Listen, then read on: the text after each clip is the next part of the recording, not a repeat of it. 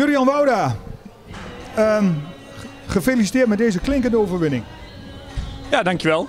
Wat je zegt, klinkende overwinning, uh, klopt. Uh, ik denk dat er uh, één ploeg vandaag bepaalde wat er gebeurde, zowel aan de bal, maar ook als, ja, als Ajax de bal had, dan, dan waren wij, klinkt misschien raar, maar waren wij bepalend. Ehm, ja, we waren de baas vandaag en meer dan terecht overwinning. Laten we eens beginnen bij het begin.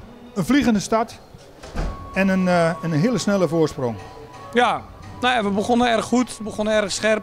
Uh, nou, voor de wedstrijd ook ja, aangegeven dat ik erg goed gevoel erover had als ik de warming-up zie en, en hoe we deze week bezig zijn geweest met elkaar. En uh, ja, dan uh, beginnen we inderdaad erg goed en nou, maken, we een, maken we een goede goal.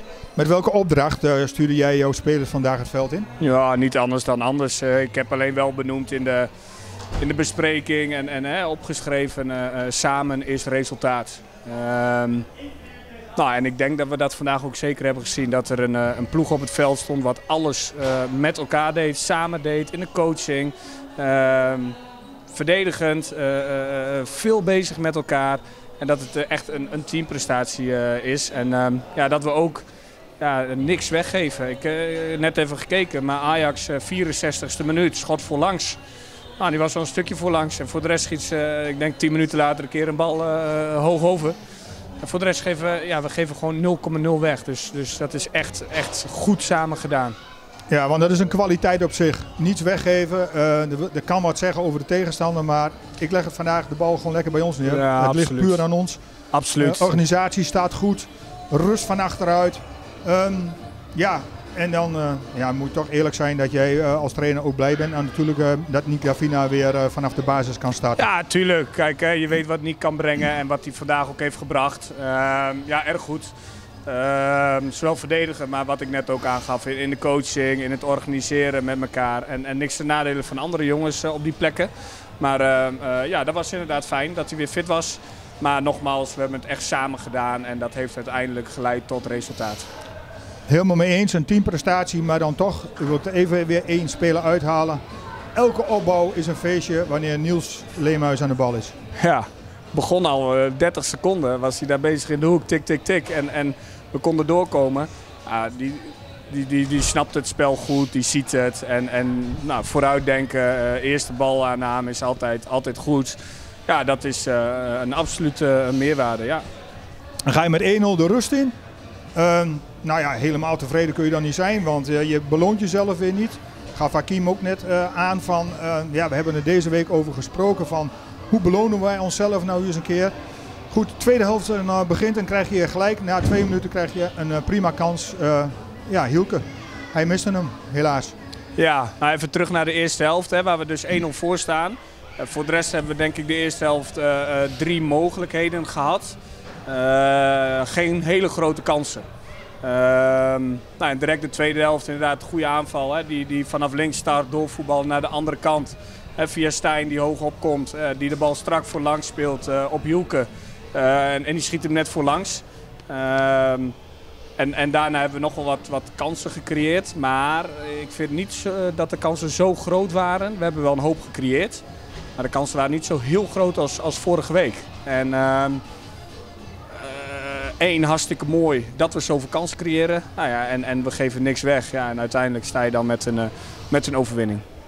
Ja goed, ik telde dan toch een aantal, uh, een stuk of zes. Nou ja, misschien dan iets minder groot dan vorige week. Ja. Uh, en dan weer een aanval, ja, weer een lust voor het oog. Een bal van Derian op Jivan en die belandt dan op de lat. Ja, je gunt de jongen dan weer zijn doelpunt. hij, loopt al, hij liep één op één. Vandaag nou ja, gelukte hem dan niet. Maar goed, uh, ja, hoe genieten is dat vanaf de bank? Ja, nee, maar in de rust ook aangegeven dat we het gewoon hartstikke goed deden. En, en dat het nou, echt genieten was hè, wat, we, wat we lieten zien op het veld. En, en nou, dat ook doorgetrokken uh, naar de tweede helft. Uh, ik moet zeggen, begin van de tweede helft hadden we wat moeilijker. Ajax kon meer aan het voetballen komen. waarin wij wat compacter moesten gaan spelen. Ja, ook geen probleem. daar hadden we het gewoon erg goed staan. En, en nou, we hebben inderdaad een hoop kansen slash mogelijkheden gecreëerd. En ja, op wat voor tempo dat gaat. Hè, in, het, in het omschakelen van, van balbezit naar balverlies. Snel die bal veroveren en dan weer uh, tot kansen komen. Uh, ja, nogmaals genoten van de ploeg vandaag. En uh, samen gedaan met uiteindelijk resultaat. Wat mij opviel is dat jullie eigenlijk ook heel weinig overtredingen nodig hebben om, om gewoon het spel lekker te dicteren, om de balletje rond te laten gaan. Ehm, is dat in de loop van de competitie ook zo gegroeid? Ja, ja dat. Dank dat, u. dat ehm, ehm, ja. ja, nou ja, eh, een van de Ajax loopt nou langs, verdiende overwinning. Ja, inderdaad, dat, dat, dat, dat, dat is ook zo. Nee, even Maar terug naar die overtredingen. ook? Ehm, ja, weet ik niet. Eh, dat heeft denk ik te maken dat we de onderlinge afstanden gewoon heel goed voor elkaar eh, eh, he- hebben. En, en vandaag op het veld dat ook hadden. Waardoor we ook minder overtredingen hoeven te maken. Dat we minder in de ruimtes komen te spelen. En ehm, ja, de bal goed voorover en door kunnen voetballen. Je pas je eerste wissel toe in de 62e minuut. Hielke haal je eraf.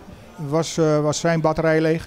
Nou, dat weet ik niet. Ehm, ik had het idee dat we dat hun meer aan het voetballen eh, kwamen inderdaad. Hè, begin van de tweede helft. Nou, op een gegeven moment dan, dan, dan brengen we Jasper van rechts naar, eh, naar 10. En, en brengen, we, brengen we Simon daar. Dus, dus ja, dat. Ja, op zich was je vandaag eh, aardig zuinig met je wissels. Je paste er dan uiteindelijk wel drie toe. Maar goed, eh, in die slotfase. Derian eh, werd eruit gehaald. Ja, Ehm, ja, best zuinig met je wissels vond ik vandaag. ja nou, drie keer gewisseld uiteindelijk. Ja, nou ja. eh, ja, dat kan. Ja.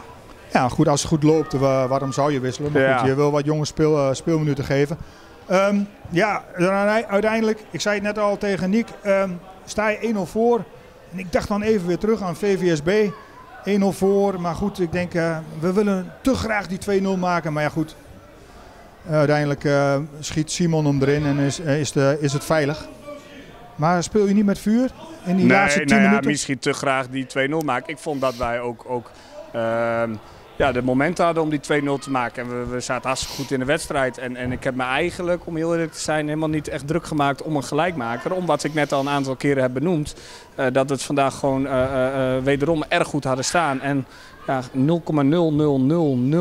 hebben weggegeven. En ja, dan maak ik me niet zo druk dat die gelijkmaker kwam. Iedereen zat er goed bovenop, waren scherp bij elkaar. En ja, nogmaals, een, een goede pot. En ja, op naar volgende week.